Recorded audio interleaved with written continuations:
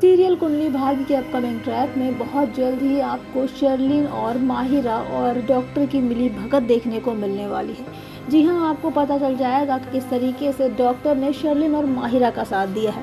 दरअसल लड्डू की report negative आई थी, लेकिन शर्लिन और माहिरा के कहने की वजह से डॉक्टर ने वो रिपोर्ट बदल दी। और शर्लिन और माहिरा ये सब कुछ कर रही हैं अपनी माँ के कहने के वजह से। जी हाँ दरअसल रमोना ही ये सब करवा रही है माहिरा और शर्लिन से। आपको बता दें कि बहुत जल्द ही डॉक्टर का ये झूठ भी सबके सामने आने वाला है कि डॉक्टर ने जो रिपोर्ट भेजी है, वो दरअसल निकली है। अब देखना दिलचस्प होने वाला है कि इन लोगों की मिली भगत जब सामने आएगी तो क्या नया तमाशा होता है। फ़िलहाल के लिए इतना ही।